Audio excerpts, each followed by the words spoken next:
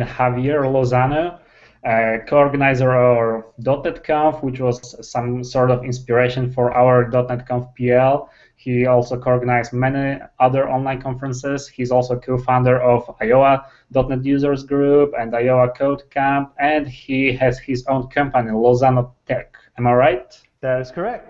Okay. Uh, so you mentioned before we went online that you have also some second company. Yeah, we have uh, myself and um, Eric Hexter, um, who uh, used um, blogs at Los Techies. Uh, he's um, him, uh, him and I started um, a company called GeekShare, which is the uh, the company that that focuses on conferences such as ASPConf, .NET Conf, and we're working on on one called OSSConf for uh, open source and .NET. So that company handles all of the event management for all these virtual conferences.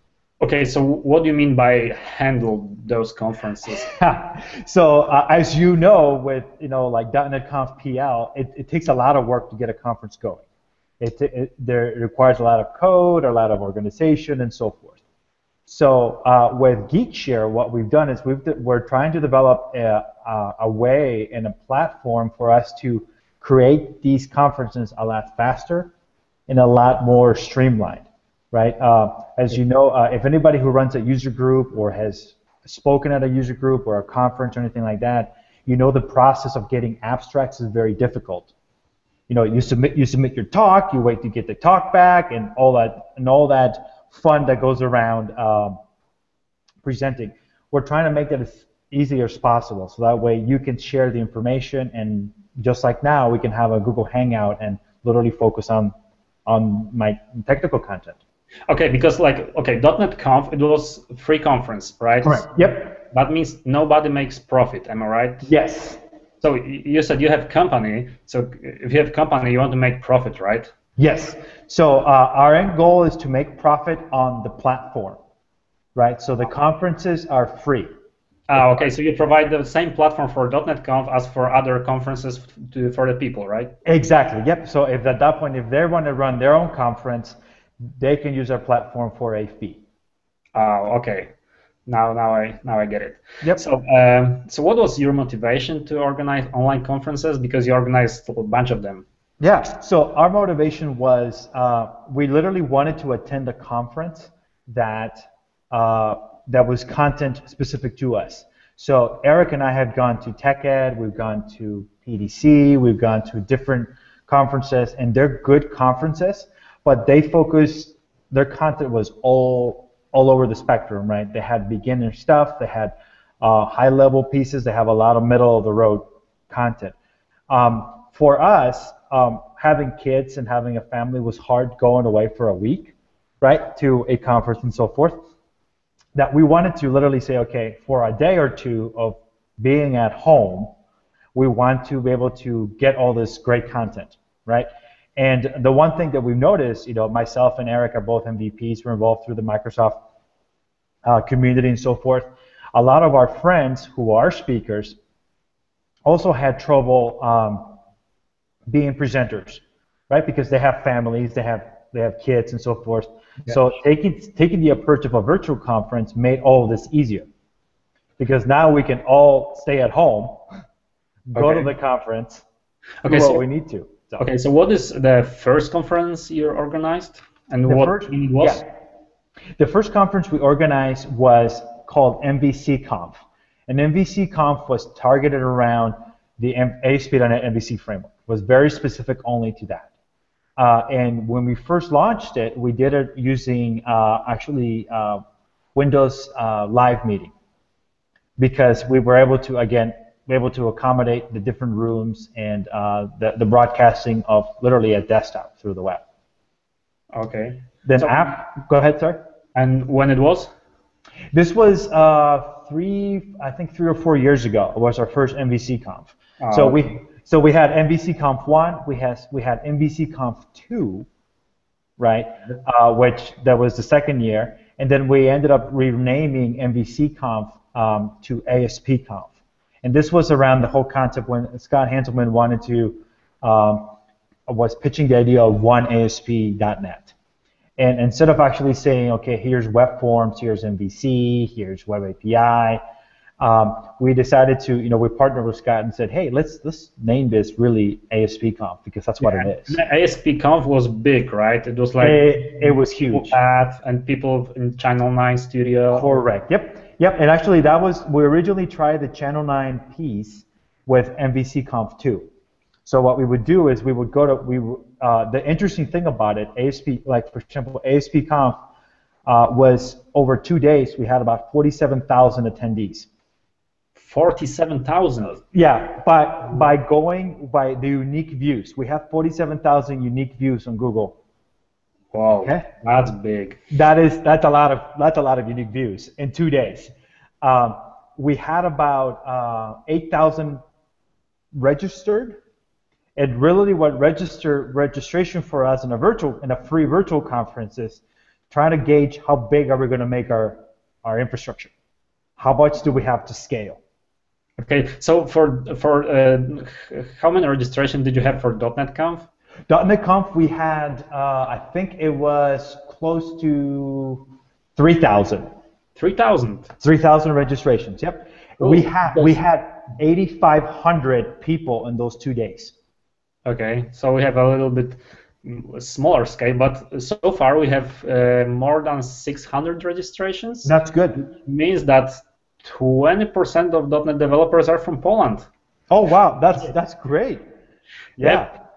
So um, okay, so uh, because obviously your conferences uh, sort of try to force the open source movement and yes. promote the open source movement for .NET. So if you think uh, you're doing your job good, or it may be better, and what's the state of open source before your conferences, and what's the state of now? I, I, I, think what uh, that's a great question. I think what our conferences has done is has the ability to uh, to connect you the, the, the developer with the, um, the open source uh, authors, right? The, the, the, the, people who are out there promoting it, right? So that's not necessarily that it has made it better, but it has hopefully lowered communication barriers that were there before, right? So when we had the open source panel, that was a that was a great way of getting everybody communicating and, and one you know one way should perform. The downside of it is that when you have that many people talking, it can be very hard to to yeah. figure out okay who's going to speak next. Um, specifically, since no one's getting visual cues from each other because they're all in different parts of the world. It, it also makes scheduling, as you know, a lot more a lot harder because we had people in the U.S., we had people in the U.K., we had people in Europe, we had people in uh, Singapore. So trying to find a time where everything matches, it becomes very hard. Yeah, I know that because we have speakers. Uh, I mean, I, I, am in I am in United States. I am in Kansas. Yeah. Like a lot, of, uh, most of people are in Poland, so it's yes. like seven hours different. And we have one speaker from uh, Redmond, which is like nine nine hours yeah. different. Yep. Yeah, that's that's very hard. But we fit like uh, good enough. Like we started 3 yep. p.m. in Poland, and we end up like 9 p.m. So it's not not that bad. And yeah. I will wake up tomorrow like at seven o'clock. still yeah. And, and it's funny because uh, actually the one thing we, we learned very quickly when as we did every conference was we had to standardize on a uh, on a time zone. So um, you, you say you're in Kansas and I see your Kansas State University shirt. Oh, um, yeah, we there you go, go Wildcats. I, I actually I went to uh, I'm in Iowa, so I'm just literally north of you, and I went uh, I went to Iowa State University, and and Eric lives in Austin, Texas. So we're all central, right? Central time zone. So for the first couple conferences, all of our time zones were central. So you know, minus six, minus five, depending on daylight savings time. Um, for some conferences, we shifted to Redmond time or you know Pacific, you know, negative yeah, eight, because there was that's where the Microsoft Teams were that. So it's a lot easier to say, okay, we're going to based off Redmond time. But again, that's so further back into the time zones that people in Europe and in Asia and so forth, it just makes it a really either late late night or very very early morning, depending how they're doing it. That's true. That, that's a problem, but no, I think we can we handled it not that bad. That's great. Yeah. Yeah, so um, because you said your first conference was MVC Conf, so uh, yes. you're ASP.NET MVC developer now. Yes, I'm actually uh, I'm I'm an ASP.NET insider and I'm ASP.NET uh, MVP. So everything that I do around uh, development is it's around the ASP.NET stack. So you think because of your conferences and .NET movement, now the ASP.NET MVC is like the the best like way to get started with web development. Like when I was starting web mm-hmm. development ten years ago, like it was obvious when you have like database or something, you use PHP and MySQL. Yep. Somebody used Java, but it was you know some business enterprise corporation. Mm-hmm. But today, my impression is that ASP.NET is pretty like sort of maybe lightweight. We have host a lot of hostings like Heroku, yep. AppHarbor, all of that. So, uh, do you think now ASP.NET is like a leader in web frameworks? Uh, I wouldn't say it's the leader, right? I would say it's the uh, it's the one that it's easy that people can easier relate to. The, the reason why I say that is because of now, you know, you have Rails, you have Node, you have other things out there that sort of follow the well the MVC pattern to an extent. You know, Node doesn't out of the box, but there's you know uh, other um, other frameworks that Node provides that are similar enough that you learn one pattern and you can easily apply it. Um, so I would say it's the easiest one for other people who have different skill sets to join and understand. Web forms is still very solid. I mean, if you're doing SharePoint development, if you're doing legacy stuff, it's still there, and it you can create a lot of uh, quick applications with web forms, and and it, and, it, and the same thing, it, it scales the same way as MVC does because it's all ASP.NET. Um, and then you have web pages, right? Web pages it's a lot lighter. Right? It's more of the um, I'm an I'm an entry. It's I would say it's better than ASP, right? Remember classic ASP? Yeah, yeah. I, I mean, I, I didn't uh, do some significant stuff uh, with classic ASP. I just oh, sure. one time look on it and I said, oh, I like PHP. yeah, and, and, it's funny because actually uh, I started web development with ASP, ASP2, and then I did some more ASP3 and then I wanted to do uh, more object-oriented programming with with web development, and I couldn't do that with um, with ASP, right? Well, unless I was writing a lot of stuff in Visual in Visual C++ with COM objects and all that stuff. So I ended up moving from that to Java and doing um, servlets. So I did a lot of servlets for a while because I wanted the OO. Um, and then when ASP.NET uh, came out with web forms, uh, I, I took some of the knowledge that I had with Java already, Java and C and C++, and that's how I learned C Sharp and got going with that. This was around, you know, in two, uh, this was around in the year 2000, right, when first ASP.NET came out. So the thing about it is that everything I've learned, even from the ASP, uh, ASP 2.0 days up to now, it's all been additive, right? It's not like one thing does, and one one tool may do it better. By better is it requires less lines of code. mm-hmm. right? Uh, than the other one, but at the same time, they all have the same fundamental um, structure and uh, needs that you're trying to try to accomplish. Yeah. So, uh, so be- before ASP, did you do some other development, or when you graduate from a university, you start working as an ASP? Developer? Yeah, I, I, used to do a lot of uh, Visual Basic development. So actually, I started writing Visual Basic uh, 4, right? So Windows 3.1 Windows 95. Uh, and then I, so all, you know, growing up, I was doing a lot of that Visual Basic 4, Visual Basic 5, Visual Basic 6. And that's when, you know, the internet was become, you know, uh, was starting to become uh, a lot more prominent. And I decided, like, hey, you know what, desktops are cool. I know what I can do. I'm, I'm proficient in it. Let me try this web thing. And uh, originally, my first code uh, samples that I, and web pages that I did were writing was writing ActiveX objects that ran on IE. IE, IE4, IE3. That's hardcore. that was a long time ago, but you know, you know, uh, but at the same time, it's like I said, it's all those skill sets and all those things that I've done. It, it just has gone. It's, it's, I've learned from it. Oh yeah, sure, that's yep. true. I agree with that. Yep. Um, so, um, do you have some advice, or maybe what you are doing to be a better developer every day, like attending conferences or reading books? Yeah. And maybe going some t- online tutorials, uh, yep. having a look, or what's your advice for developers? My my advice for developers is never stop learning. Right. Learn whichever way you can. Uh, you know, take take the free content like such as you know .NET Conf PL, some of the stuff that you guys are going to be doing. Um, take the time to go whether you watch it live or you watch it later. You know, just look through look through the the sessions and it's like, hey, I want to learn about this, and and start really prioritizing. Not necessarily try to say I'm going to be the master of everything. I want to be the best .NET programmer out there. Don't that those days, from my perspective, are over over from the that you do that, you're going to learn a lot about stuff, uh, uh about different things, but you're not going to focus on one. So start saying, hey, I want to write the best applications on ASP.NET, focusing on Azure, or SignalR, or you know JavaScript front end, or whatever those things are. Focus on that, and then really understand that piece, and then step back, and then try to marry different technologies or different approaches to learning. Uh, when I first started, there was none of that, so you just pretty much had to do it. you had to learn it all. Oh, now, yeah, yeah. Mm-hmm. go on. Yeah, now is you have the flexibility to do it, and there's way more content than there was uh, back when I was first started.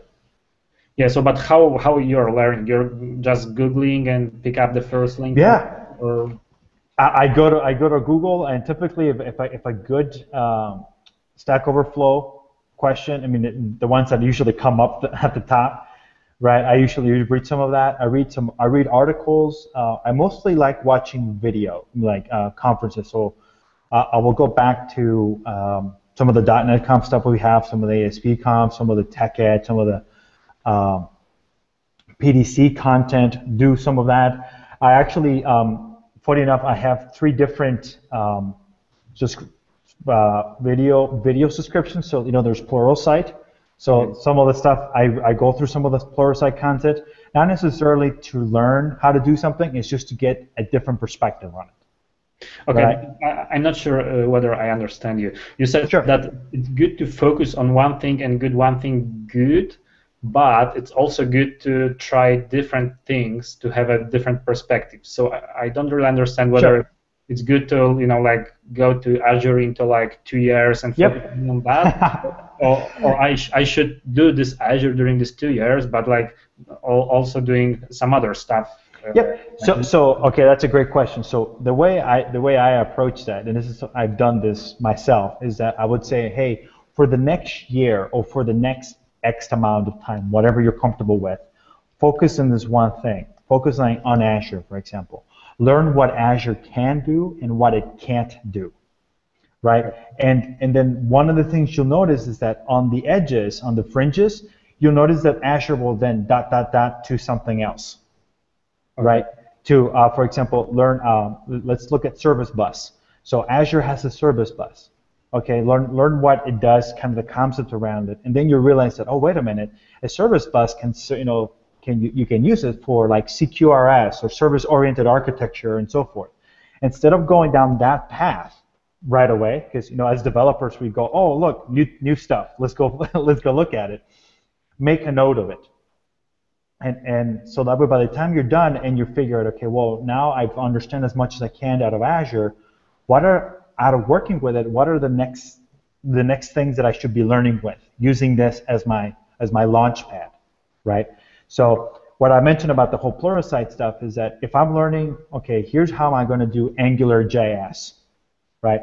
So I will go look at something in Pluralsight with regards to Angular JS. So I will get that perspective. Then I will go to Treehouse, right, which is another um, uh, another video learning site, and I will go get that perspective. I will go to Tekpub and get that perspective as well. So I'm getting the same content, the same subject, but just from different people right? It's not any different from you talking with other developers who are doing MVC or ASP.NET development, from whether it be at in the university or in Poland or you know or wherever that you're saying it's like, hey, I just want to know how what this means to you and how you're doing it.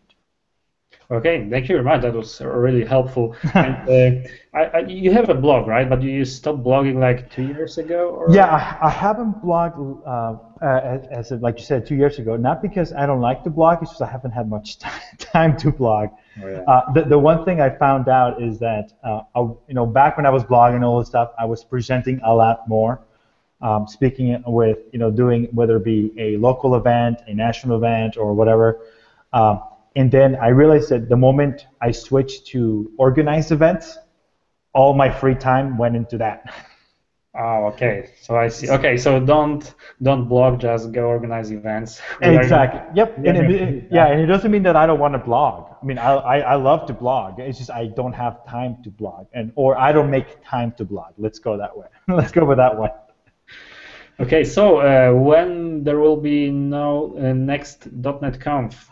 That is a good question. Actually, uh, my uh, myself, Eric, and um, so um, Scott Hanselman and Jon Galloway, uh, we're going to be uh, meeting next uh, month at the MVP Summit. We've been talking about it, and uh, we want to kind of slot for the next .NET Conf, the next ASP Conf, and I know I want to. I know we've had the idea in the back burner for several years with OSS Conf, which will be focused on OSS, you know, open source software in the .NET space.